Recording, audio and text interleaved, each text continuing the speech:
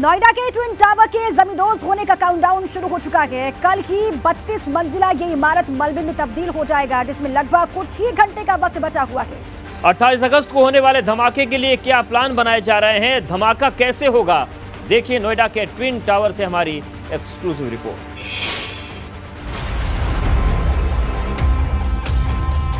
भ्रष्टाचार पर सबसे बड़ी चोट ट्विन टावर में होगा विस्फोट।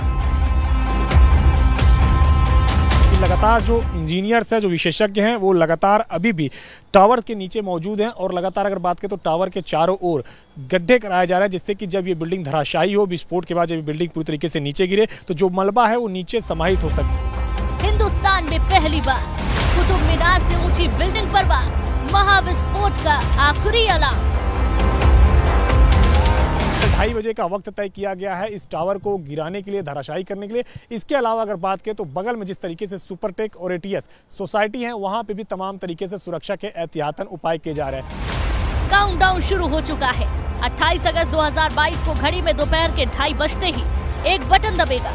अगले 12 सेकंड में कुछ धमाके होंगे और नोएडा में तनकर खड़े सुपरटेक ट्विन टावर जमींदोज हो जाएँगे।